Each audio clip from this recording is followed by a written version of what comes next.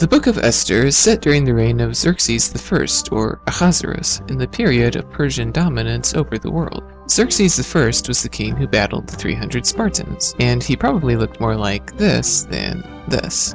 He also had a really bad temper. Once, as he was preparing to fight the Greeks, a flood came and washed away the bridge he had just built over the river. And he had one of his slaves take a whip and strike the river hundreds and hundreds of times as punishment for knocking down his bridge. Now, the book of Esther is the first book to refer to God's people as Jews, and this is because God's people in the book were mainly made up of the people of Judah at this point. Benjamin was also grouped in with Judah, and Esther was from the tribe of Benjamin. Now, in chapter 1, Xerxes holds a big wild party for all of his nobles, and he calls for Queen Vashti to come out and strip dance for him and his several hundred drinking buddies, but she refuses. So his buddies tell him that if he doesn't punish her, then all women in Persia will follow her example and disobey their husbands, and they recommend to Xerxes that he get a new queen, and Xerxes agrees. So Xerxes needed a new queen, so all the virgin girls of the region were gathered together and brought to his palace for a beauty contest. Enter Esther, a Jew. Her real name was Hadassah, and she was raised by her older cousin Mordecai, who was a palace guard. And Esther was prepped and pampered for a year, and she ended up making it to the final round. And Xerxes was stunned by her beauty and chose her to be his new queen. But Esther kept her nationality a secret. Later on, two men named Teresh and Bigthan tried to assassinate King Xerxes, but Mordecai learned of their plot and reported it to Esther, who in turn reported it to the king, and the two assassins were then executed, and for the time being, Mordecai continued on with his normal palace duties. Now in chapter 3, we're introduced to the character of Haman, who's the king's second in command. He is referred to as an Agagite, a descendant of Agag.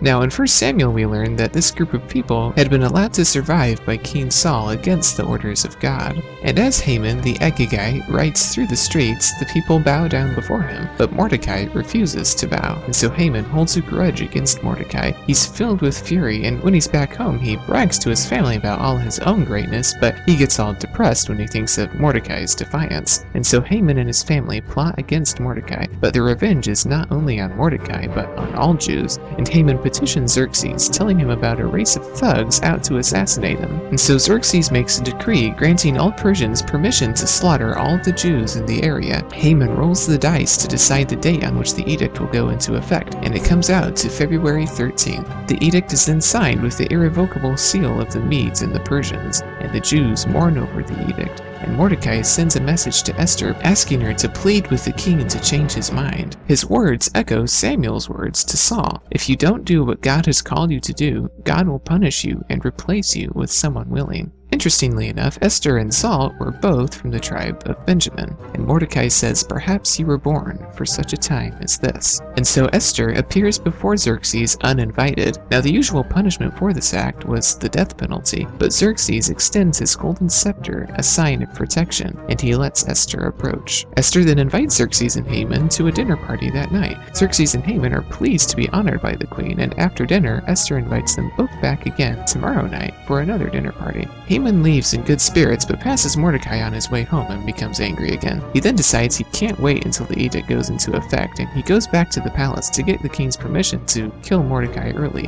And he tells his servants to construct a pole 50 cubits high on which to impale Mordecai. Now, meanwhile, Xerxes is trying to fall asleep and he's listening to the scribes read the royal records to him. And they end up reading about that one time Mordecai saved the king's life. And the king wonders why Mordecai was never rewarded for that. Xerxes then notices Haman standing outside and he sends him in. But Xerxes cuts Haman short and asks him how to go about honoring somebody very special. And Haman, being very vain, thinks the king is talking about him, and so he tells the king that this special guy ought to be dressed in royal robes and given a crown to place on his head, and that a prince should put him on a royal horse and march him through the streets, proclaiming this is how the king treats those who please him.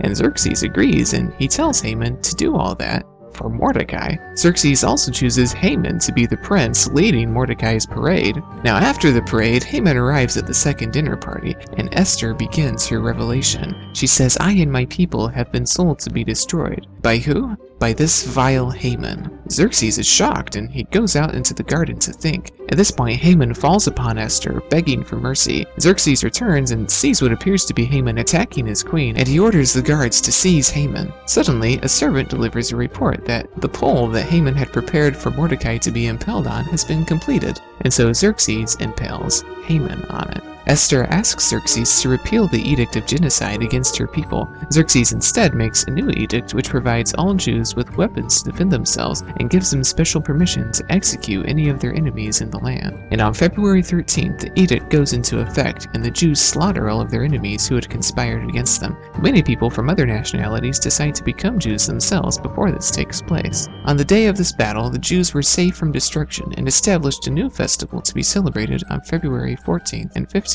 This festival came to be known as Purim and is still celebrated today. In the end, Haman was impaled on the pole prepared for Mordecai, and Mordecai was promoted to the job that had been prepared for Haman. And Esther saved her people from destruction.